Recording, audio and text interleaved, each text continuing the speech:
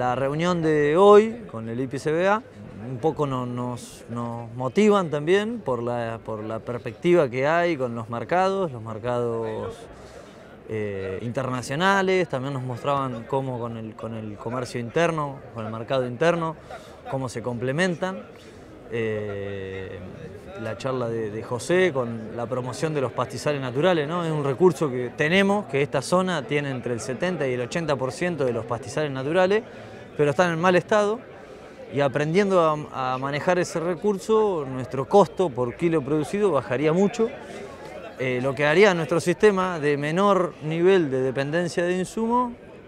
de mejor aprovechamiento, porque por la utilización de un recurso que es más económico, que eh, tolera mejor las inundaciones, las secas, ¿no? lleva en su copia, en su gen, lleva copiado este, este clima, digamos, que es así, es errático, es difícil,